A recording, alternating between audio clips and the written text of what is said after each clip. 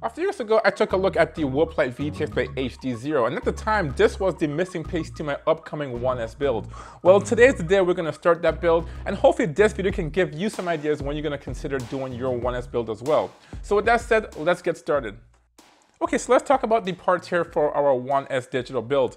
Now, the first thing here is the heart and brain of any drone, and that's the flight controller. This is a Beta FPV F4 flight controller. It can be powered by a 1, 2, 3S battery source. It has a 5 amp built-in ESC in there, and it also has an integrated receiver as well. This is a SPI Express LRS receiver in here. Now, this is a good balance between performance, lightweight, and price point. So that's the reason why we went with this one. Pretty cool. It also has a BT 2.0 connector on here, which is really good compared to your standard PH 2.0 connector. So this should be a really good you know, flight controller for our drone. To the right, we have the motors. Now, this is the Happy Model SE802 motors. These are 16,000 kVs.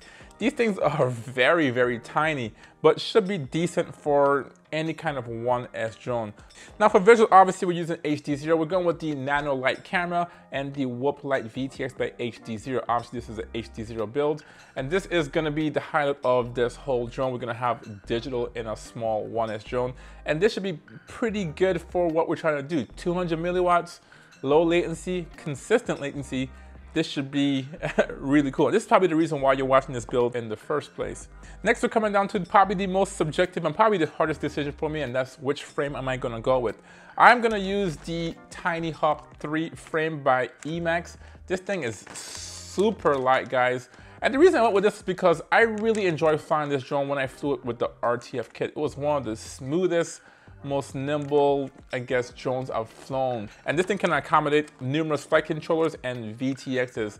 Now I also have another frame here. This is the Meteor 65 frame by Beta FPV. This one here is a 65 millimeter, you know, frame here, and it's pretty nice. This one here has the pink color. You can get these in numerous colors. And this is also an option or a popular option for most 1S builds. Now coming to propellers, I'm using a Gemfan 40 millimeter propellers. These things are pretty good, decent. We'll see how it works on this applications. Obviously, we're gonna be using this frame here, so we're gonna use it as a pusher configuration, so we have to consider that once we install these propellers. I have two different colors. I have a blue and I have a red one right here. So these are all the components and parts for this 1S build. It's very, very simple once you, you know, take this out of the picture. It's just three parts, a frame and some propellers. This should be hopefully a relatively simple build. So let's go to the workbench and get these parts installed. Okay, so we're here at the workbench. We have all our parts here. We don't need the props for now, and we don't need the motors. let's get this frame out of the bag here, and let's do a quick mock-up of the flight controller and the VTX. Make sure I have everything set up properly. And here's our first task is to find a place to mount this. I think I'm gonna mount this on top. I could mount it on the bottom as well. As you can see, these holes here match pretty nicely, guys. It works pretty good. This would be an option as well. But if I do do this, well, I might be able to put the, that's an option too. I might be able to put the VTX on top. So this is why we do this to see what makes the most sense. Oh, I know why this is gonna be a problem. If I put the battery holder in place here, it's not gonna work as you can see, even if I turn it left or right. It might be in our best interest to put it on top instead. So let's just flip this upside down. We may have to do some different changing in Betaflight, but it looks like this is gonna be the better option. So let's get the VTX out of the box. This thing is so tiny and light, guys. Really cool option here by HDZero. All right, so that looks good. Um, how can I hold this in place? I put some screws in there. All right. Okay, so it actually grabbed it, but yeah, that's not made for to go on top of the canopy. So we'll have to put the one that came with the hardware kit. Let's try this VTX now and mock it up and see if that VTX does fit under here. All right. That looks pretty flush. Like it was made to go in there. Now the battery's supposed to go forward to back lengthwise, so yeah, this should work pretty good. Let's see here, put that on there. Looking like a relatively clean build. All right, there it is. Look at that. It holds the VTX in there and it holds the flight control in there. Cool, that, that's the plan. It's good to mock it up and see if there's any issues. And that's the reason why I went with the Tiny Hawk 3 frame because I saw that this hobby is gonna work better because I can mount a board below and a board on top. Opposed to the Meteor 65, I have to stack them on top. And then with this Express LRS antenna, then that creates some clearance issues with the VTX. So let's just disassemble this quickly. The whole, me personally, I just want this build to look as clean as possible, like it came from the factory that way. Now, having said that, I'm sure Emax is gonna maybe build a Tiny Hawk 3 with HDZero in there. I mean, they should. That seems like a smart decision to me. Okay, let's take a look at the box and see if there's any harness in here. There's usually a, a bunch of wires in here. And sure enough, I see some wires for the actual VTX. Okay, so before I start solder these wires to my flight controller and VTX, I wanna do one thing here. I wanna update the firmware on this flight controller, both for two reasons. This thing is gonna be really hard to get to once I get this whole flight controller and VTX in here. And I wanna do all my flashing while it's out of the drone. So the first thing I want to do is flash my passphrase to this board. So once I power up my radio, it's going to connect automatically to my transmitter and receivers. The second thing is I want to flash the latest version of Betaflight on my flight controller. Now, now when these boards first came out, they were flashed with a release candidate of Betaflight 4.3, which is pretty cool. But now we have the official version on there. Now, the release candidate, specifically release candidate number six, has some issues that once you power this board up, it could damage your gyro or at least one axis of your gyro. So that's a really crucial step. For me, this is a brand spanking new flight controller. I haven't powered this up yet, but the issue arises once you power this up for the first time, whether it be the micro USB or the BT 2.0 connector on here. And that renders the yaw gyro inoperable and you don't want that. So I'm gonna go to the computer right now, flash the latest version of Betaflight on here, and then I should be able to mount this in here and not worry about any of the configuration on this flight controller. So let's go do that. Okay, so we're here at the computer. I have my flight controller here, and what you wanna do here is press the boot button on the flight controller while plugging this into the computer.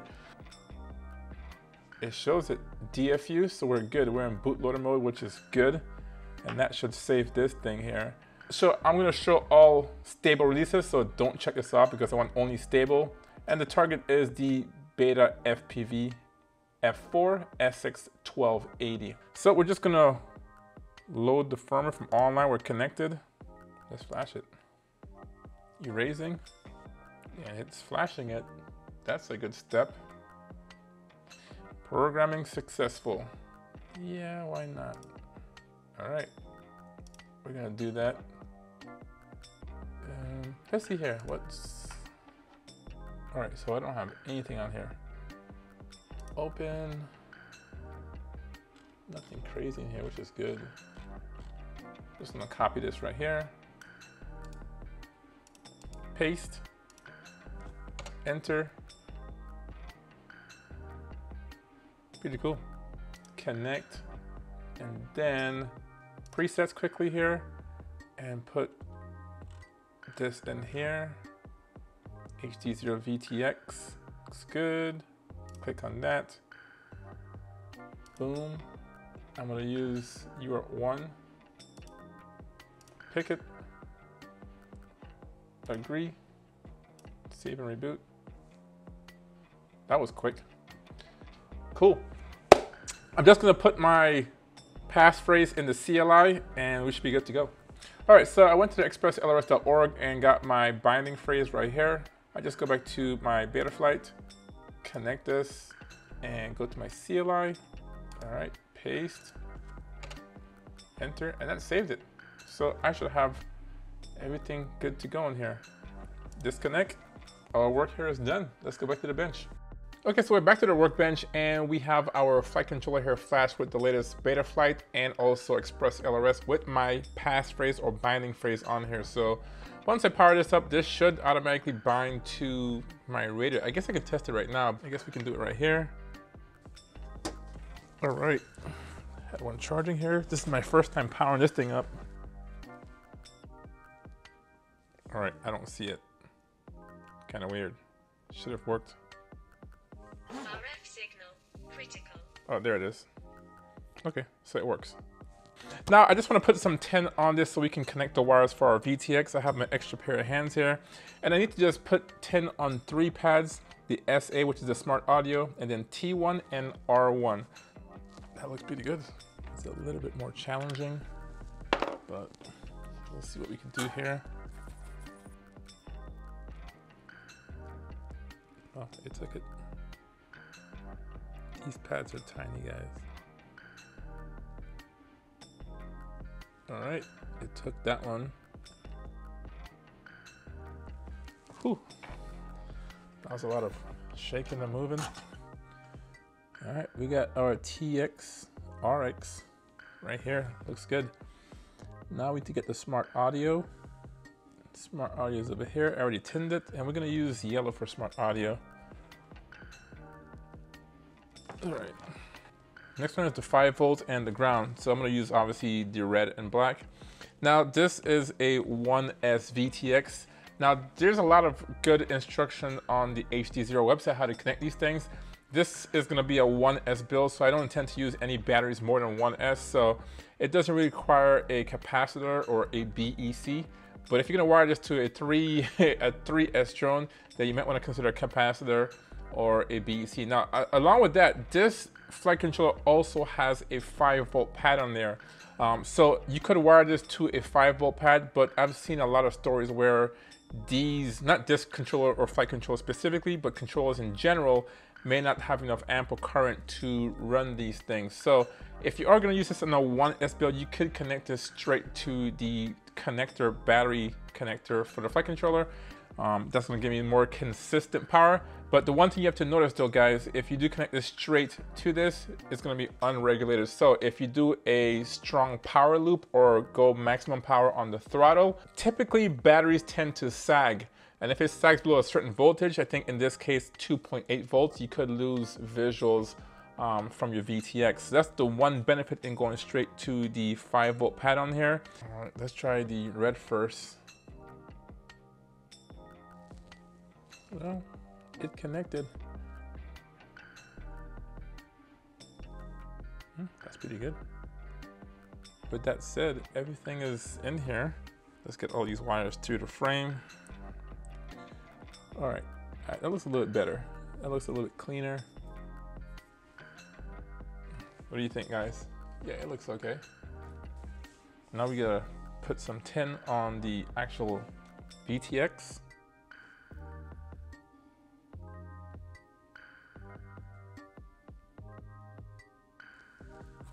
they have these grooves in here. You can wire this thing vertically and it, it might be cleaner that way.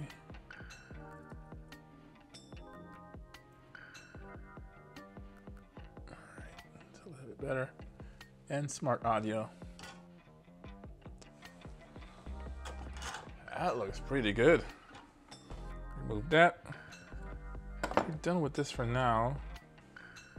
All right, guys, you can see it's all in there make it a little bit brighter so we can take a look at that. It's all in there. What I want to do here is put the MIPI cable on here.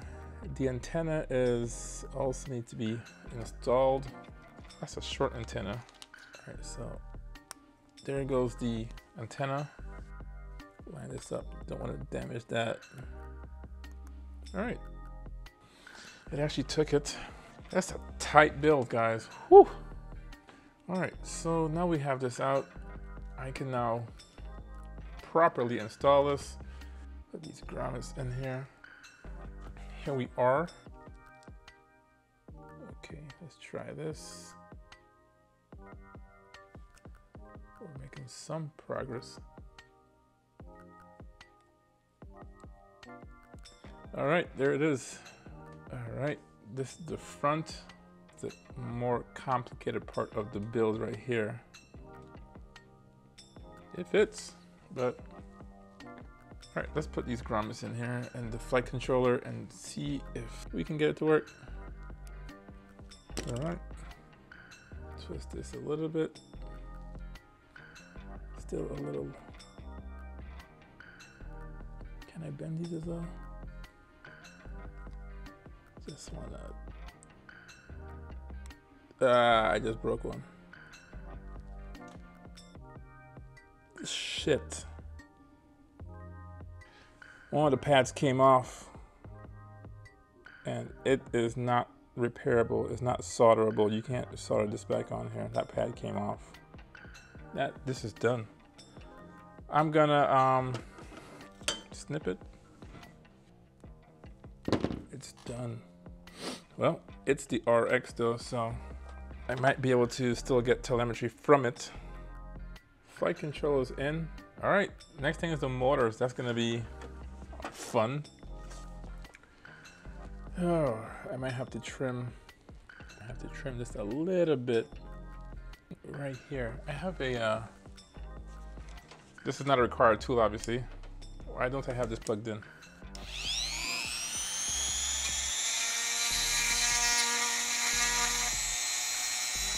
This to the side.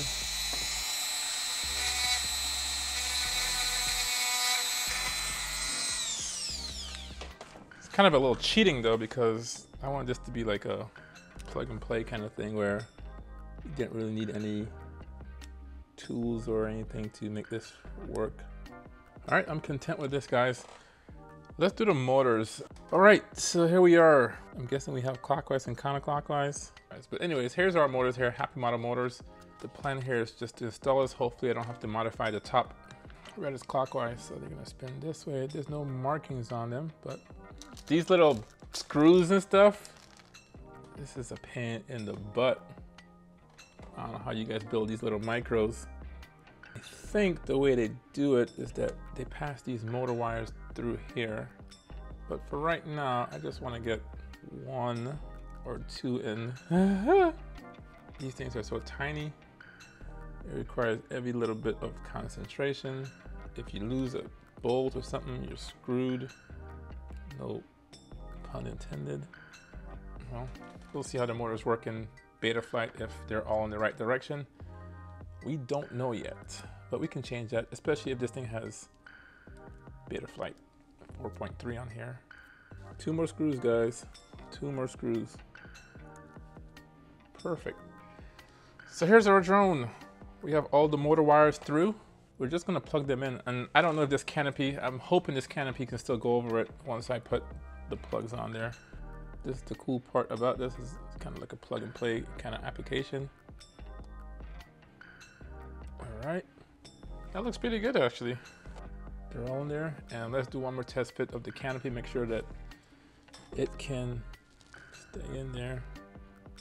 Actually, this can go through here. This, these two are gonna go through the top. And what do you know? If it's okay, you know, I can trim it. I think I will trim it. So the plugs are rubbing a little bit against the sides here.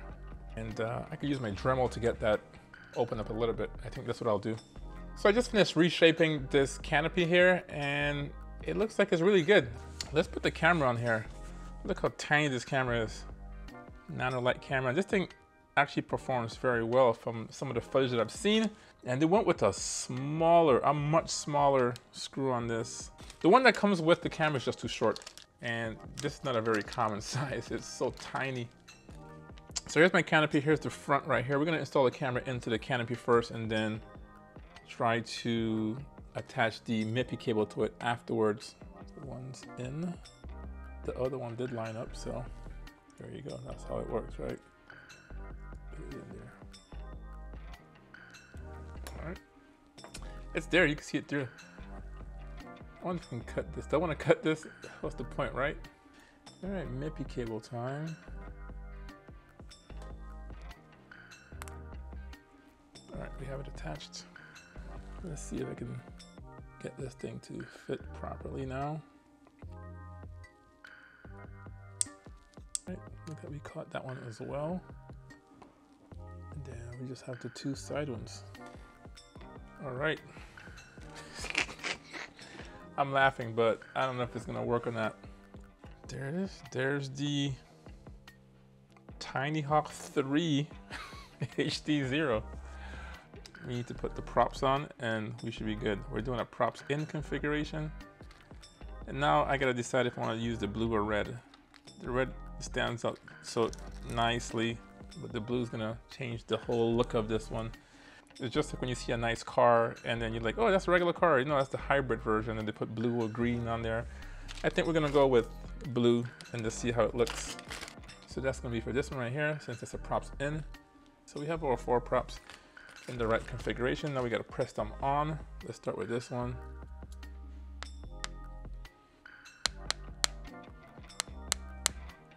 All right, there it is. Tiny Hawk 3 HDZero 1S build. Let's weigh this thing with and without the battery. It's probably gonna be really chunky compared to what everyone's used to. 31 grams with the battery, 42, 44. All right, it's a chunky boy. Let's see if this thing flies. Um, yeah, I was gonna arm it. I'm not gonna arm it. I can't do it anymore. I don't have it calibrated yet, the uh, accelerometer. But what I'm gonna do is I'm gonna see if this VTX is powering up and I have an image in my goggles. Whew, let's plug this in, see what happens. Hopefully no smoke. All right, everything seems to work. Good image. All right, no smoke, and I have telemetry. Wow, okay. I'm gonna go to Betaflight, assign my switches. Um, I'm also gonna calibrate my accelerometer because um, I couldn't do it when I did the flash because it wasn't in the drone. I don't know what right side was or what the orientation was. I'm also gonna check to see that my motors are spinning in the right direction, and if not, then just correct it, but that should be pretty quickly. Okay, so we're back at the computer. We have our Tiny Hawk 3 here, HD Zero Edition. Looks pretty good. We're just gonna plug this into Betaflight and make sure all our switches, tabs, ports, everything is configured pretty well before our first flight. All right, let's head on to Betaflight and we're just gonna confirm that everything is in the right position. Anyway, so all I have to do is just change the degrees right here. Since I mounted the flight controller 180 degrees, I would just have to change it right here, 180 degrees roll. So now it's showing the right orientation. And as you can see, it's showing correct up, down, left, and right. As far as the ports, that looks all good. We have smart audio. And as you saw, I had one of the pads on the flight control actually lift and there's nowhere to solder it. As I said before at the workbench, thank goodness it was the RX pad but seeing that I still have the TX pad on the flight controller, I should be able to still receive telemetry. And I do have the Meteor 75 uh, configuration on this. It is, it is a beta FPV flight controller, so we're gonna run with that for now, and then later on we might switch it up to another one. And because I had the configuration, it knew it was an SPI receiver, Express LRS. You can choose whatever you want, obviously, if you have a different board on there. So that all matches, and here's the thing, the modes, and it's all good. So we have AUX1 for ARM, that's set. Flight, mode Flight modes Flight are set, and I have the beeper in this one. That looks good. And then flip over crash is this one. So everything should be good here. Motors, now I'm using a prop in configuration here, which makes sense. So they're all spinning on the inside. I did test them, and they're all working. So no big deal there. That's a gyro. I'm just wondering what's going on here. OSD, that's the same as any other. I have all my telemetry on here. Now for the VTX, I did go to the presets on here. And you could do it the old fashioned way using the commands the CLI. I just went to the presets, choose one for the Whoop Lite or the Whoop VTX. And it gave me all the stuff I needed, including my VTX table. And everything is in here. Pretty cool. Even the power output 25 and 200. So this is all good. Cool guys, this is all done. Let's see if I can fly it. Uh, let's do it in angle mode first put my fan off so it doesn't get influenced. And we're recording here, so, oh man. All right, let's do it. Hopefully I can get it steady here. You know what, it's not bad. I thought it was, it is drifting to the right.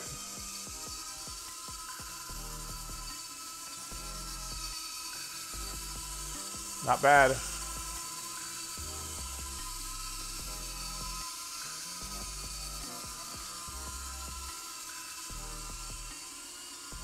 There is a little bit of noise I can hear from the propellers.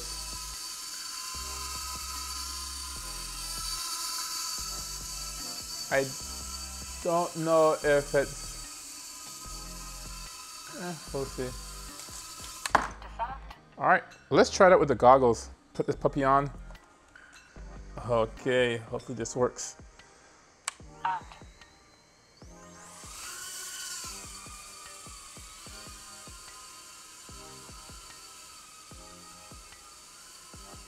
There I am. There it is.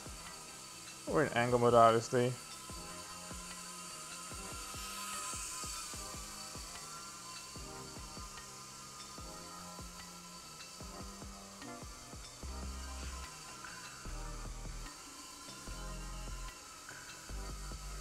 Not bad, we need to trim this some more.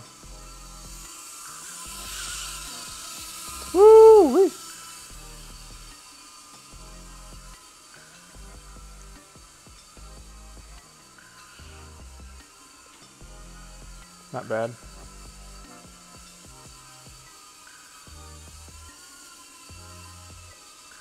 A little bit too much up tilt on this.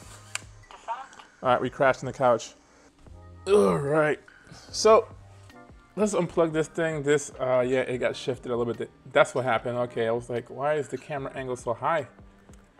The camera in here is so small, so tiny that um, I can see a halo, I can see the ring around this little angle tilt here. Now I've seen some other guys just remove this little canopy top and just mount the camera straight to this top piece here, the canopy. But I wanted to look official. I wanted to look like a, a traditional, you know, Tiny Hawk 3. So far so good. That's in the room. So I want to fly this outdoors and I want to fly this also downstairs in other faraway areas and see how this thing here performs. But so far guys, so good. I got really, really lucky with the OSD on here. It's still showing telemetry.